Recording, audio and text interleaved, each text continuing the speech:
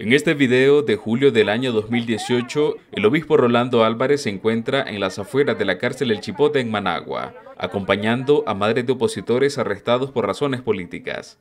No hay que perder la esperanza, hay que orar, hay que seguir rezando y hay que seguir aquí, aquí donde están, esperando la liberación de sus hijos, de sus esposos, de sus hermanos, de sus parientes, de sus familiares.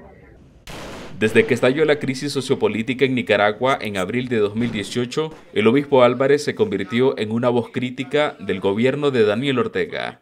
Defensores de derechos humanos atribuyen a esa postura crítica el encarcelamiento del religioso. En su convicción cristiana, anunciaba la justicia y denunciaba la injusticia. Y eso lo tiene, lo tiene detenido.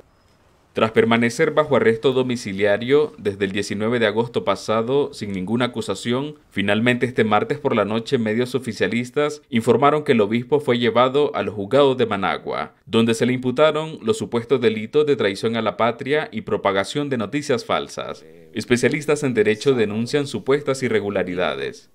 Porque ha sido representado por un abogado de la Defensoría Pública que se ha prestado en colusión junto con el juez y la fiscalía y la policía, como se ha venido haciendo con otros procedimientos a partir del año 2021. Activistas sostienen que al religioso no se le han garantizado otros derechos fundamentales. Le ha sido privado de, un, de una atención médica fluida, adecuada para preservar su salud. Estamos hablando de la vulneración del derecho a la salud. Las autoridades judiciales decretaron el arresto domiciliario para el obispo Álvarez, mientras enfrente el proceso penal. Donaldo Hernández, Voz de América.